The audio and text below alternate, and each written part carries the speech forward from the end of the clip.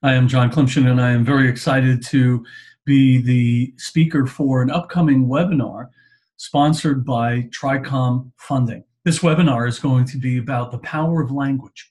It is going to focus on how we can be more intentional and more inspirational in the language that we craft and deliver.